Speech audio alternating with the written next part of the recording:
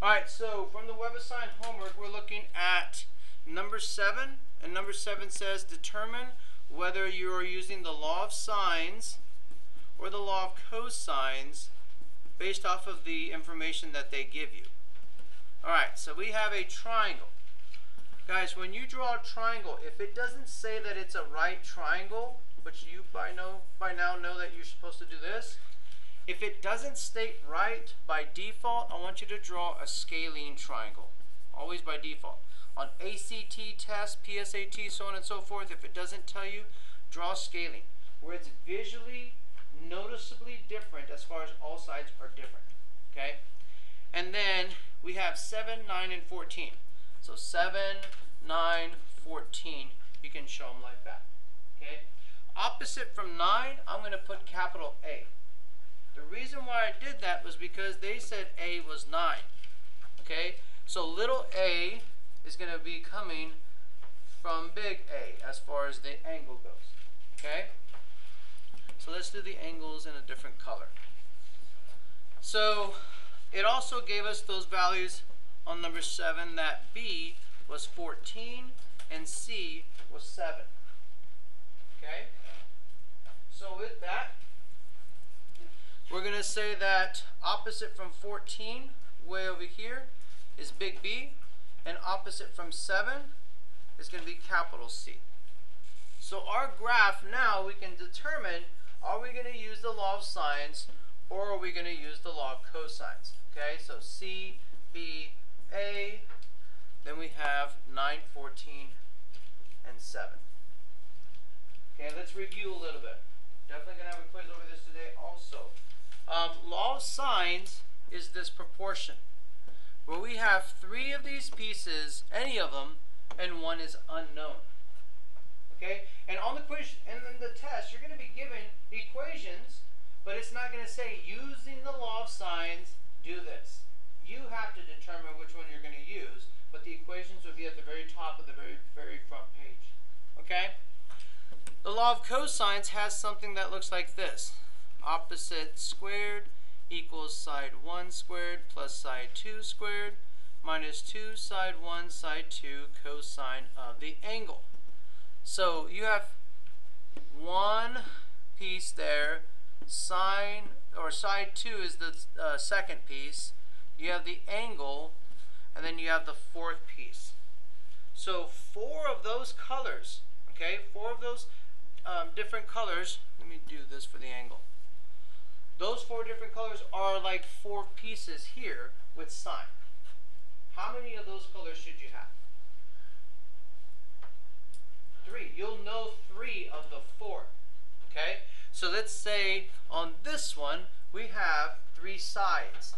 I have three sides, okay?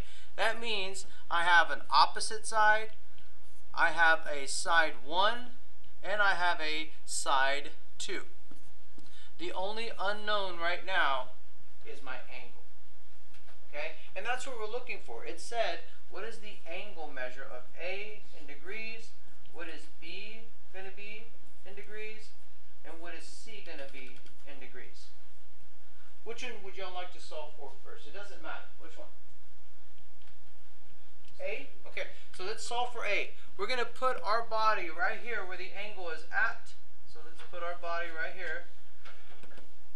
And the easiest one that I see is this one way over here that is the opposite side.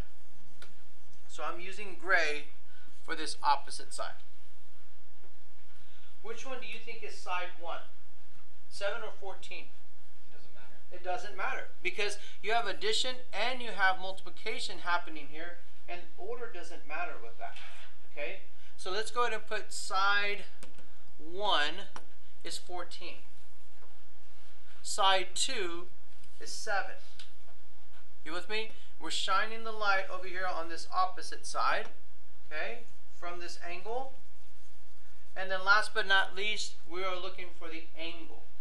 So the angle will be the unknown that I will put in blue. Notice I have one, two, three of those four pieces. Okay? Now I can put it into the calculator and I'm ready to solve it. Alright, so let's go ahead and set it up so you'll know what it looks like as far as in your calculator. Opposite side is 9. Side 1 is 14. Side 2 is 7. And then we're going to multiply in between. And then last but not least, our unknown is cosine of, let's use theta. Let's use theta. Okay? So we're going to do this in our calculator and solve for theta. Okay? Where this unknown is at, I think you should get in the habit of using the solve or the in solve feature, okay? The solve feature will solve for anything pretty much, and it's menu 3-1. Where the nSolve feature is more strictly reserved for solving what? Do you remember? The angles, yeah, the angles. So looking for angles, you should use nSolve instead. Otherwise, you're going to get some weird error. And that's menu 3, 6. Okay, so let's go ahead and go to the calculator. And I'm going to put in menu 3, 6. And it's going to be 9 squared is equal to, help me out guys, what's, what's the rest? 14 squared plus 7 squared minus 2 times 14 times 7 times the cosine of the angle. And I like to use theta. So this button right here at pi, bottom left, next to like the letter H. And I like to use the variable known as theta. And then at the very end, comma theta will tell the calculator, hey, do our dirty work for us, look for theta. And then we'll press control enter. Okay? So now, I just want to be mindful. I want you to be mindful. And I told this to a couple students before class. They were asking, how do you know what mode to be in? I think you should do this. Anytime you're dealing with angles, with degrees, be in degree mode. If it's not in degrees, be in radian mode. I am in degree mode, so I did get the correct answer. Okay? If not, if I was in radian, I'll show you just real quick. If I was in radian mode and I did the same exact thing, this would appear, watch, 0.579. And that looks weird as an angle, right? That almost looks like change, like money. It doesn't look like an angle. 33.203 looks like an angle. Okay, so for now, I'd rather you, when you're working with degrees, make sure you change this to degree mode and make it your default, so it does it all the time. And then you should be able to get back to that 33.203 degrees. Oh, home 5-2. Home 5-2. Alright, so let me go ahead and put that in as an answer. We have 33.203 degrees. Now let's look for an another angle. Okay? What angle do you want to look for next? B or C? B? Okay. So now that I'm looking for angle B, you have a choice. Okay? You have a choice because you just solved for an angle. So if I were to look at this diagram, okay, you now know more pieces of the puzzle, if you will. Okay, so we have, we had 9, 14, 7, and now we know that angle A is 33.203 degrees. You could, if you wanted to, use law of sines from here. Or you could use law of cosines again. Let's say we were looking for angle B. Okay? So side angle side, shining the light on the opposite. If you chose to do angle B, you would have opposite is now 14. And then you could use 9 squared plus 7 squared minus 2 times 9 times 7 times the cosine of B. Okay? You could do that and you could get angle B if you wanted to. Or you could set up a proportion with law of sines. This shining the light on 9 says 9 over the sine of what we got. But right here, what I would want you to do is write it to six decimal places because you're throughout a problem right now. And we're going to set it equal to, we're solving for b, that comes from 14. So we're going to say the sine of theta. Either way, you have three of the four pieces that you need. You have this one, two, three, and you have one unknown here. Just like you have one unknown here, but you have the other pieces on the other one. One, two, and three. Yes, I know this is another one and another one, but they're still the same thing.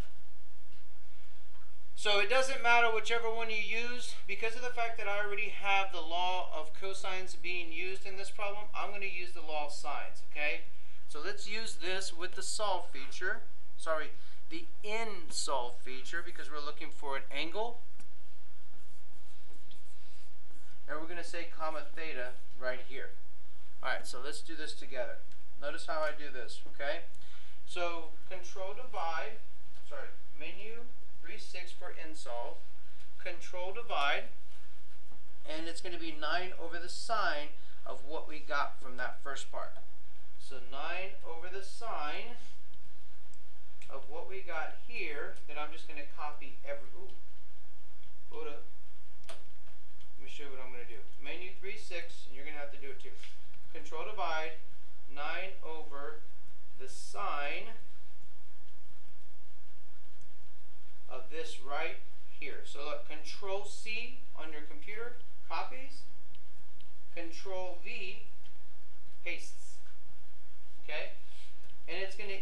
2, control divide, what did we have? 14 over the sine of theta.